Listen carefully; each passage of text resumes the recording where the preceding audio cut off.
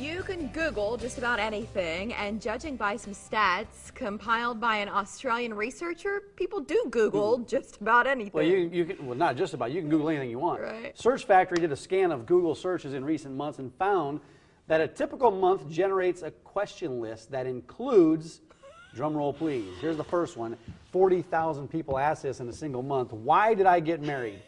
That's the first one. I would, I'd love to know, Chris in the booth, can you Google why did I get married and see what the See answer up. is, right? Uh, then we have, how do you win the lottery? 40,000 people are curious yeah, about then right that. Behind that is Lady Gaga, a man. That uh, brought in 18,100 searches. We're pretty sure the answer to that is no. She's not. Mm-hmm. the way, the other two questions we can't Here we go. with. This is where it this is where it takes a turn, and where it becomes concerning. We may want to alert the authorities. How do you hide a dead body? A thousand people searched for that and this in is a particular month. right. These are monthly figures, not in all. And then, how do I make my cat love me? Listen, we know cats by nature; they're not exactly We cuddlers. need to call a most therapist Uh, after that one. and then finally, um, just to help those searches get off the ground, how, do I use Google? How do I use Google? You're- Listen. You're, right. If you're searching that, you're you know. Right. Think You're about using it. it. You just did. You just used it. Have you ever Googled yourself, Mike DiGiacomo? Yeah, I have. But Uh-huh. it's uh, you know when you get the the initial list, uh, I like clicking on images, so then you can see what images of you have popped up. Mm-hmm. Um, but I have I have Google myself, and everybody has. You have to. You want to see what's out there about you. So um, we have basically analytics. So that when we're looking at our website, you know, what did viewers check out online? So we know to do that again or Mm-hmm. whatever. You can look at certain phrases through search engines and see what people looked for, and that's what brought them to your site.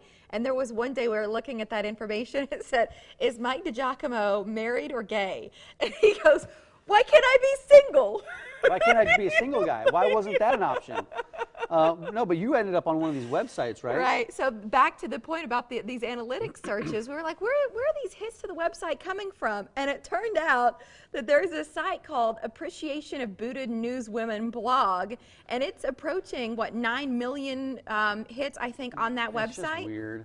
Yeah. Well, at any rate, I made the site. Right. Um, Kayla found so that what out. is it? What's the site? What's the premise? Um, well, there was a post on there from February where I was wearing boots one day, So- and they put it up on the site. The people are really nice because when I first heard about it, I thought, "Oh heavens, what are they saying?" I'm sure it's mean spirited, and it's not at all. So there was the post from That's good. February. See, you know, you know what I that use. people you comment know, about your here's what I boots. use Google for recently. Yeah. Um, sometimes I'm not the best w- when I put my colors together on my clothes. Okay, so I want to match maybe a, a different color shirt with a tie. Oh, uh-huh. So I'll have a let's say an orange shirt. So then I'll Google orange shirt with tie, and then I'll hit images, and it pops up all these images with people with orange guys with orange shirts Uh-huh. and different colored tie combinations. And so sometimes when I'm trying to figure out what tie to wear with a certain shirt, that's what I'll do.